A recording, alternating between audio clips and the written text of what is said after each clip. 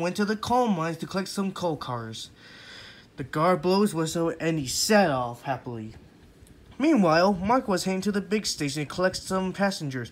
He grumbled all the way there. He was grumbling so much he didn't notice the crossing gate up ahead. Stupid engines ignoring me. I'll show them all. Um, Mark, you need to slow down. Wait, what? Slow down! Mark looked up ahead and he saw the crossing gate. Oh, shit! Mark slammed on his brakes, but it was too late. With a crash and a slam, the crossing gate burst into pieces. They laid all over the track. Oh, God. I'll be back, Mark. Just stay there. I'll get help. Mm, as the driver was out of sight, he heard a whistle. It was Tom coming down the line. Mark saw the rubble, but instead of warning Tom, he decided to get back at him for ignoring him. I'll show him who's boss. Stop, Jack, stop, said Tom. Oh, shit, oh, shit. And hmm, um, Jack put his brakes on. Um, Tom tried to stop, but the heavy trucks pushed him over too fast. Oh, and brace for impact!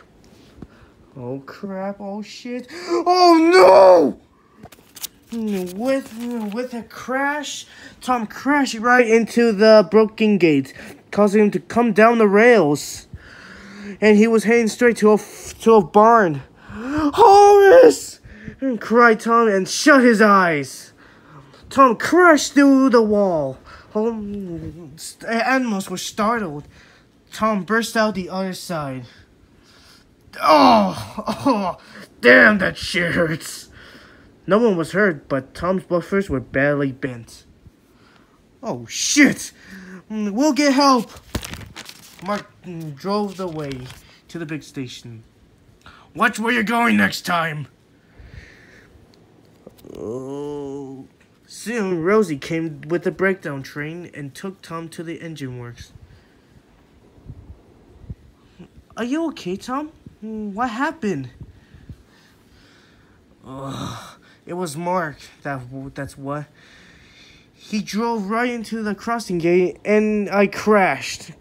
And he didn't even bother to warn me. How dare he? I, and all, and all because of I was ignoring him. He will get one day. That night, Rosie was telling the angels what happened. He what? He could kill. I'm going to kill him. He went too far. We need to teach him a lesson, that son of a bitch. Soon, Oliver came to talk, tell the engines the news. Oh, Mr. Mark, or my, I mean, Mr. Oliver, please, can you please tell us about Tom? How's he doing? Bad news, everyone. Mm, I'm afraid Tom has to stay at the engine works for two weeks. What? I was told that the engine works has run out of spare buffers and it will take a very long time to make new ones. The engines were sad. That's terrible, said Nogla. That so the engines had to go to sleep thinking how to get back at Mark for all the things he did.